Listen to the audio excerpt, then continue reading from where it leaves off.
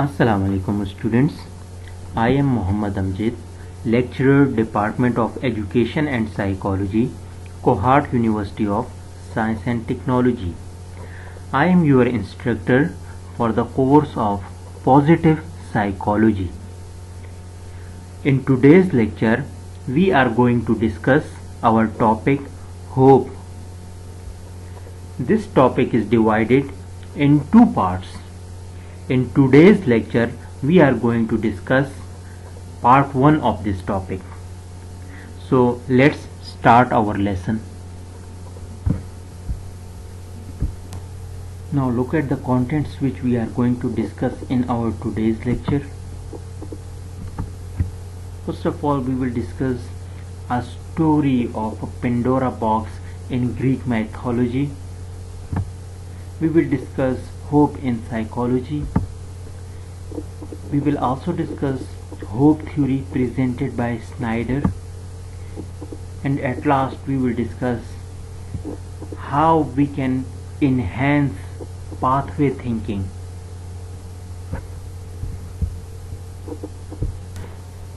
Before starting this lecture, I want to share a story with you. You have listened a word Pandora box. Actually, in Greek mythology, Pandora was a character. Once she found a box. That box has blessings and cursing inside. Pandora was asked not to open that box. But her curiosity overcame and she opened the box. So, what was the result?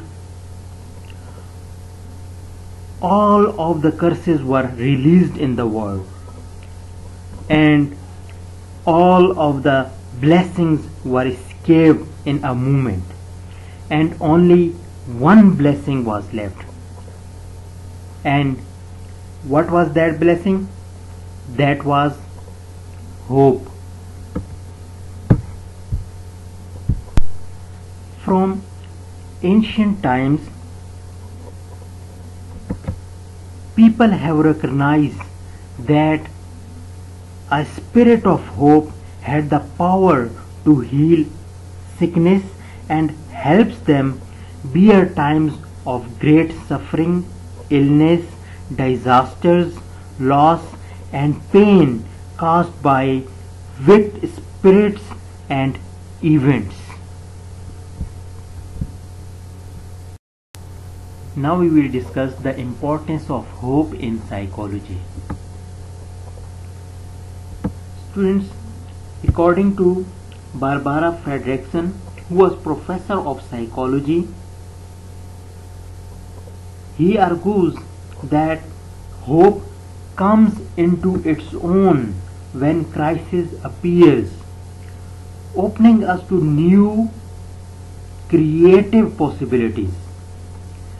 Fredrickson argues that with great need comes an unusually wide range of ideas as well as such positive emotions as happiness and joy, courage and empowerment drawn from four different areas of oneself.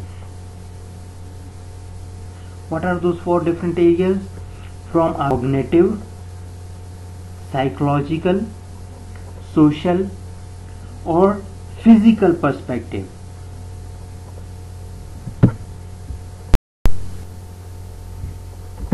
Barbara Fredrickson argues that hopeful people are like the little engine that keep telling themselves, I think I can, I think I can.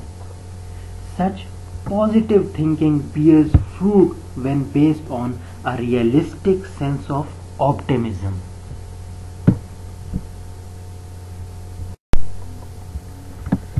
The psychologist Charles Snyder linked hope to the existence of a goal combined with a determined plan for searching that goal.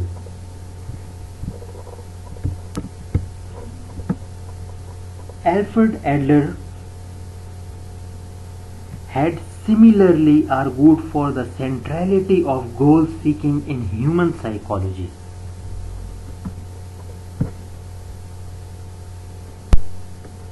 Snyder also stressed the link between hope and mental willpower as well as the need for realistic perception of goals.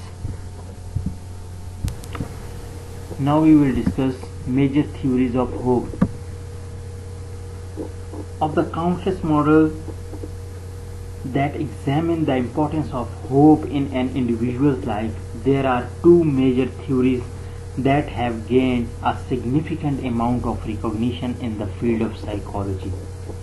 One of these theories developed by Charles Snyder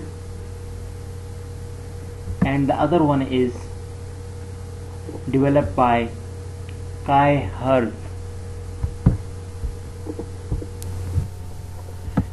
Now we will discuss hope theory presented by Snyder.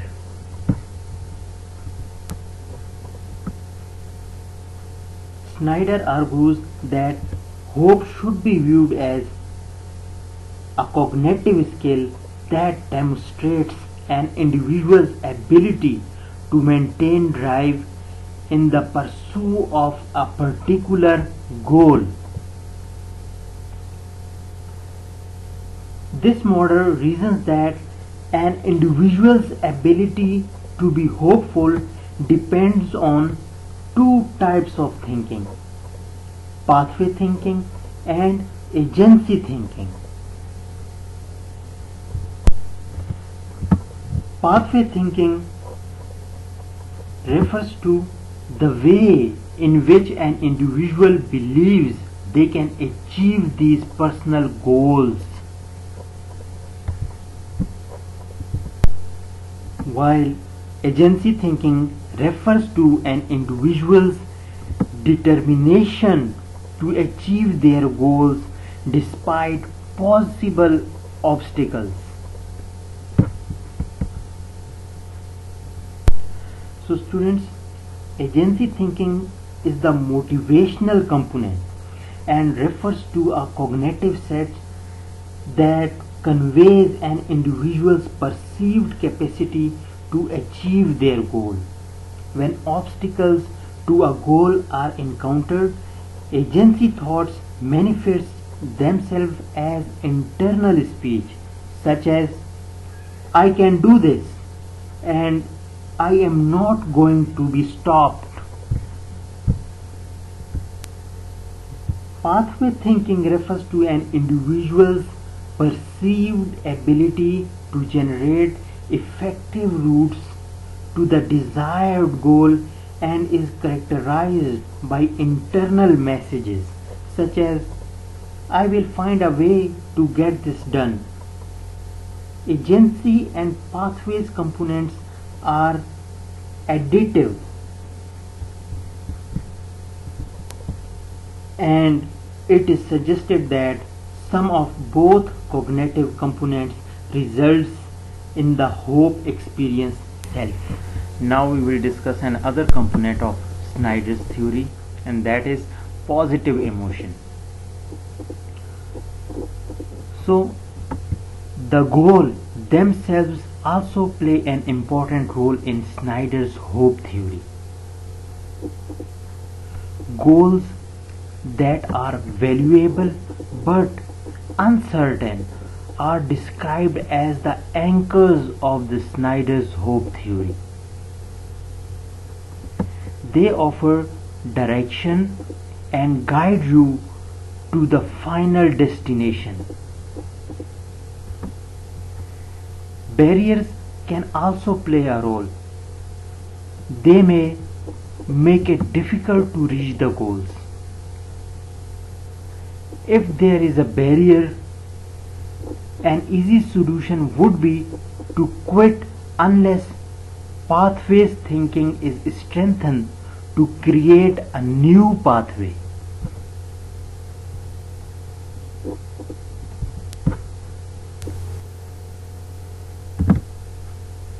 Reaching goals will happen more easily if emotions are positive.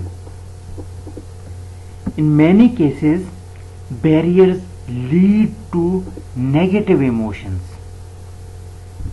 By coming up with new alternative pathways, the conviction and motivation from agency thinking is reactivated, making it possible to reach the goal sooner. Barriers are then considered challenges, not permanent roadblocks. Students, the key in Snyder's hope theory requires different pathways to goal and the intentions to stick to those paths.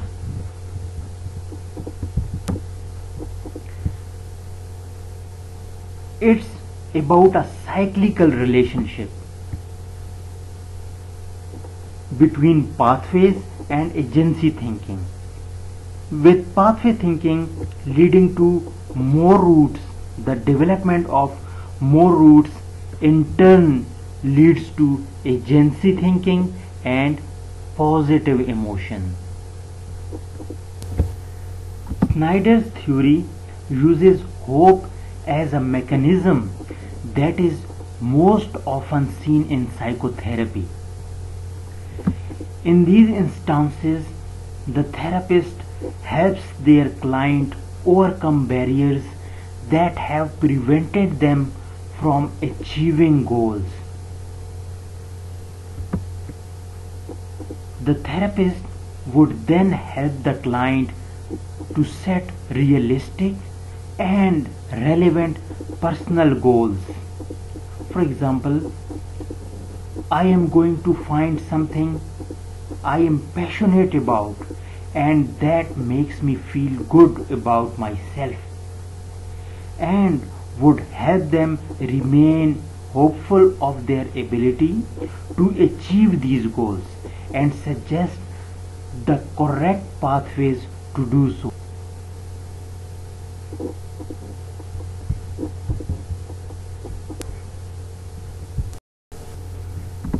Now we will discuss characteristics of high hoppers.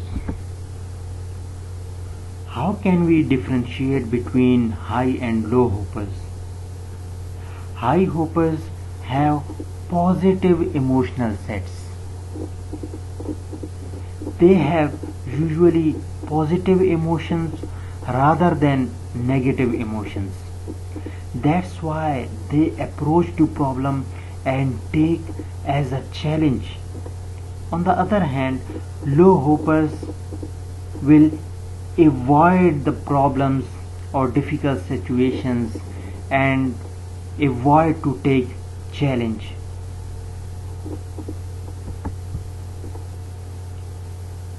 High hoppers always be passionate and enthusiastic. On the other hand, low hoppers are emotionally flat. So look at the diagram. In first line, person is thinking about goal achievement. This is his goal thinking. Then in second line there is way power thinking and there is one straight direction which is obviously going to goal. But there is a problem. There is a hindrance. At that time person who is high hopper he will think about all alternative ways. So that is pathway thinking or way power thinking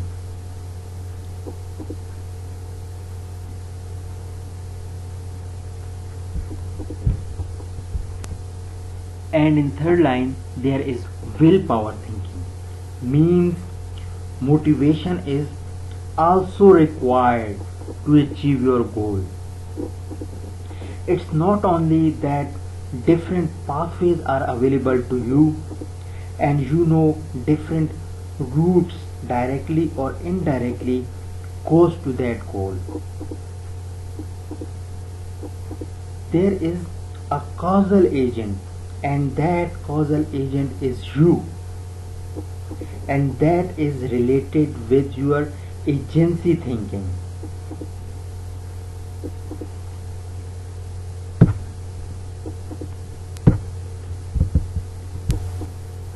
Many theorists believe that hope is domain specific.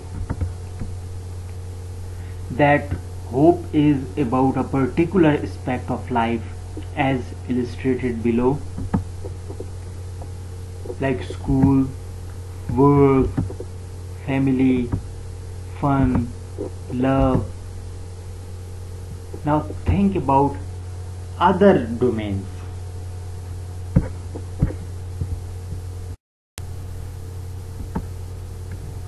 Now look at this diagram which demonstrates a flow chart regarding the operation of hope theory and progression of goal directed thinking that is presented from left to the right. Agency and pathways thought at far left points out the etiology of hope components that were built during developmental stages. Both of the thoughts lead individuals to value the desired outcome and if outcome value warrants reasonably high importance to sustain mental attention, cognitive processes uh, of hope begins including agency and pathway thinking.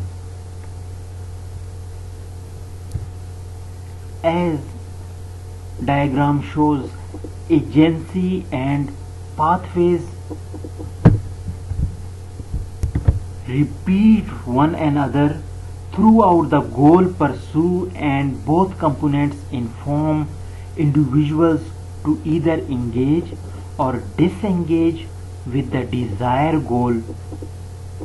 As seen, Snyder conceptualizes hope as a cognitive construct and considers emotions as the product of the process in his hope model. Although various theories put forth different explanations regarding emotional or cognitive aspects of hoping process, Snyder's model captured wide research attention compared to both emotion and cognition based scholars in the field. Now we will discuss how to enhance pathway thinking. There are different strategies the first one is practice making different routes and select the best one. Second one is rehearse in your mind what you are going to do to reach your goal. And the third one is rehearse what you would do if you ran into an impediment.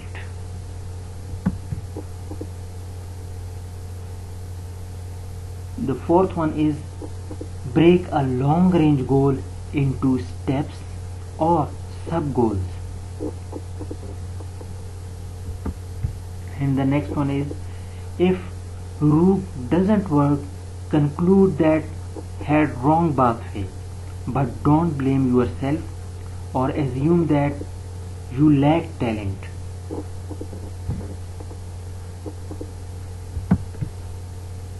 Recognize if you need a new skill and go get it.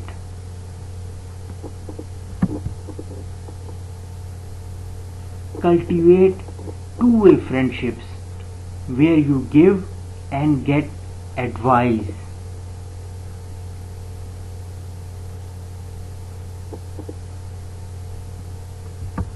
and the last one is if you don't know anything if you have problems you can ask for help.